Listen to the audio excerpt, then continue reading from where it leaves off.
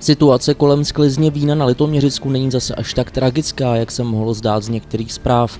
Je sice pravda, že vlivem velkých mrazů, které na jaře zničily značnou část úrody vinné révy, bylo například zrušeno oblíbené vinobraní v kolébce vína velkých žernosekách. Neznamená to ale, že letos kvalitní žernosecké víno a burčák nebudou k dostání.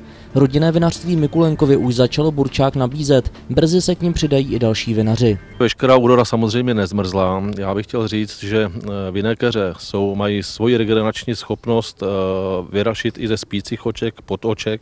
To znamená, když eh, víno na jaře zmrzne, Vždy se nějaká úroda, ať už malá nebo trochu větší, na keřích objeví a vinaři v současné době mají 20 až 40% úrody na svých keřích, takže není pravda, že žádné víno nebude a že nebude ani burčák. Já bych naopak chtěl lidi pozvat do Žernosek na sice ne vinobraní, ale na žernoseckou triznu, jak to nazvala paní starostka z úřadu a chtěl bych, aby lidé si místní burčák ochutnali, ochutnali si i víno a podpořili naopak vinaře v těžké době. Klidili jsme půl tuny a průběžně budeme sklízet tak, aby burčák byl k dispozici takřka každý den až do konce září.